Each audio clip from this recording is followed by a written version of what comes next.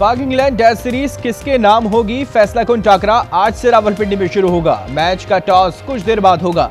दोनों टीमों का तीन तीन स्पिनर्स के साथ मैदान में उतरने का प्लान। कौमी टीम तीन स्पिनर्स नुमान अली, जाहिद महमूद और साजिद खान के साथ मैदान में उतरेगी। साइम अयूब और अब्दुल्ला शफीक ओपनिंग करेंगे।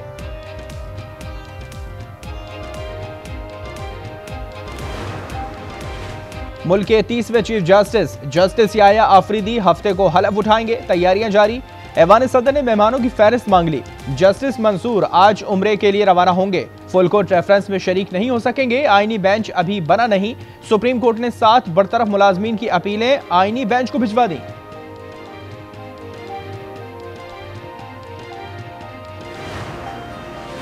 तहरीक इंसाफ की कोर कमेटी का आईनी तरमीम को चैलेंज करने का फैसला। चीफ जस्टिस की तकर्री के लिए कायम पार्लिमानी कमेटी को भी चैलेंज किया जाएगा। अरकान का फैसलों पर बर वक्त एतमाद में न लेने का शिकवा। कोर कमेटी ने एहतजाज से मुतालिक अरकान से तजावीज़ मांग ली।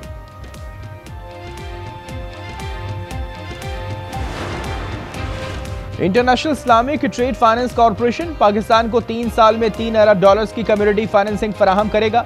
वाशिंगटन में वज़ीर खजाना मोहम्मद औरंगज़ेब की आई टी एफ़ सी के वफ से मुलाकात। आई टी एफ़ सी का पाकिस्तान के लिए फौरी दो सौ उनहत्तर मिलियन डॉलर्स की बरह रास्त फाइनेंसिंग का ऐलान। वज़ीर खजाना की अमरीकी असिस्टेंट सेक्रेटरी बरा इकतदी अबूर से मुलाकात। अमरीकी कंपनीज़ को ज़रात आई टी तोानाई और कानकुनी में सरमाकारी की दावत।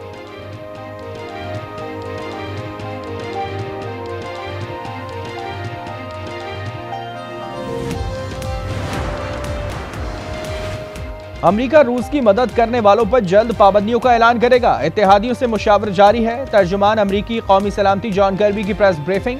कहा, अमरीका यूक्रेन को भारी फौजी इमदाद फराहम कर रहा है। तीन हज़ार शुमाली कोरियाई फौजियों को मशरक़ी रूस पहुँचा दिया गया है। फौजी यूक्रेन जंग में हिस्सा ले सकते हैं।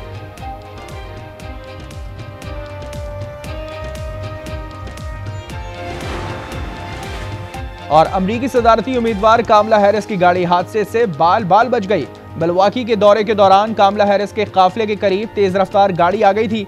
पचपन साल ड्राइवर गिरफ़्तार, नशे में गाड़ी चलाने का इल्ज़ाम।